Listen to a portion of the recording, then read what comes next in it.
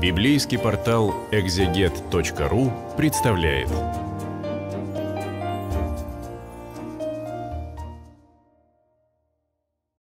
Двадцать вторая глава первой книги царей или царств в старых переводах для портала Экзегет. Читаю свой перевод с небольшими комментариями. Вот 21 э, глава начало странствий Давида, 22 их продолжение. В 21 у нас установился в Гате, в филистимском городе, в городе врагов Израиля. Ну, конечно, э, это, наверное, было такое э, ну, спонтанное решение. Вот он мечется буквально. Он сначала бежит в святилище, где э, скиния стоит, потом бежит, наоборот, к врагам Израиля. Вот он думает, где бы, где бы спрятаться от Саула. Но постепенно его странствие становится таким, знаете ли, партизанским походом, рейдом. И 22 о том, как это начинается. Оттуда Давид бежал в пещеру Адулам, это из Гата, из филистимской земли, то есть там тоже достаточно опасно, и он пытается уже укрыться просто где-то в такой глухой местности, где никто его не достанет. Его братья, весь его отеческий род услышали об этом и пришли к нему туда. Опа, уже слава идет о партизанском отряде. Сначала это его родные. К нему собирались все угнетенные, все, на ком был долг, и все, кому было горько. Ну, то есть низы общества те, кто не мог э, найти себя в обычной мирной жизни. Он стал их предводителем, с ним было около 400 человек. Банда, фактически что это? Это банда, то есть э, это его родные и близкие, и это э, те, кто вот угнетен, на ком долг, те, кто отвержен в обществе. Вовсе не, знаете, какие-то особо благочестивые люди, которые там сражаются за идеалы высокие или за веру в Бога. Но из этого материала может что-то получиться. И, собственно, долгая и подробная история э, странствий царя Давида — это история того, как э, глава партизанского отряда стал величайшим царем в истории Израиля. Оттуда Давид отправился в Мицпу в Муаве, еще одна соседняя страна, и попросил царя Муавского, «Пусть мои отец и мать побудут у тебя, покуда я не узнаю, какая судьба мне от Бога». Он отвел их к царю Муавскому, и они остались у него, пока Давид был в убежище. Ну вот здесь он уже отправляет в эмиграцию своих родных, которые не способны воевать, и, соответственно, устраивает их судьбу.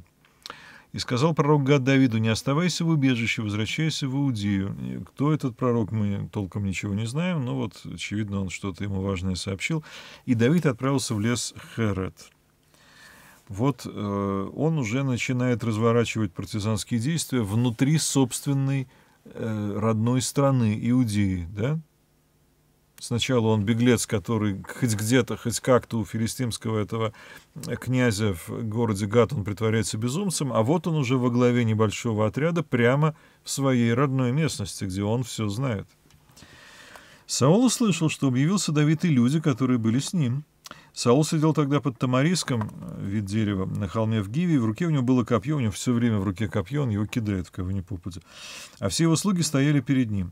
И сказал Саул своим слугам, стоявшим перед ним, «Послушайте, вениамитяне, он же тоже из э, этого племени Вениамина, разве и вам всем даст сын Ишая поля и виноградники, и всех вас поставит на тысячами и сотнями воинов?» Он уже понимает, что Давид э, следующий царь. Ему важно убедить хотя бы своих э, самых приближенных слуг, что надо за Саула постоять. «Сговорились вы, что ли, против меня?»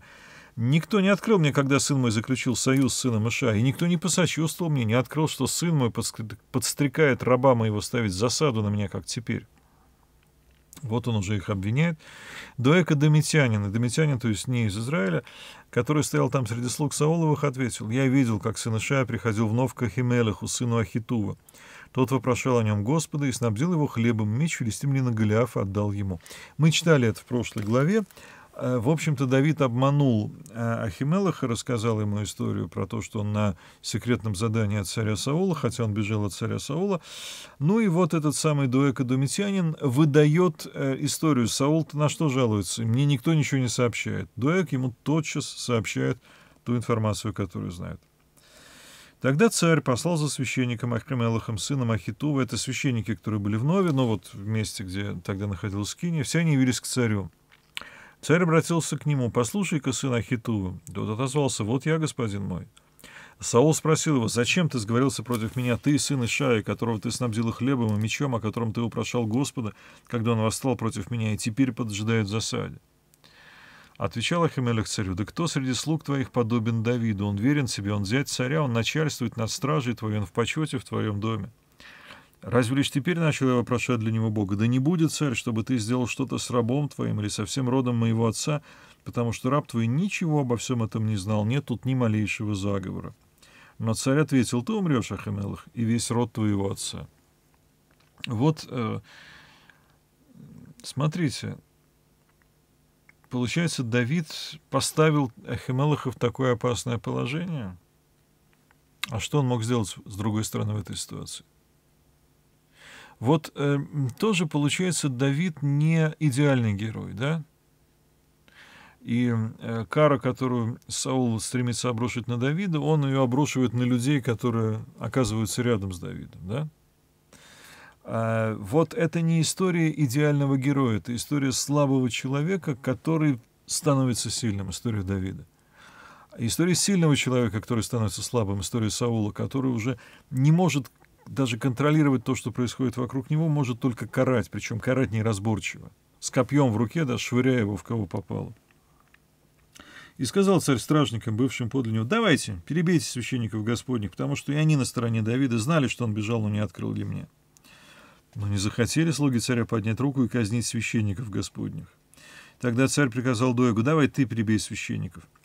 Дуэк эдемитянин. Он эдемитянин, он не из израильтян, ему этот э, культ Господа абсолютно чужой, он иностранец, для него нет ничего в том, чтобы перебить священников. Дуэк эдемитянин взялся перебить священников и умертвил тот день 85 человек, носивших льняной эфод, то есть всю семью. А в Нове, священническом городе, он перебил мечом всех, и женщин, и мужчин, и детей, и младенцев, и волов, и ослов, и овец, всех перебил мечом.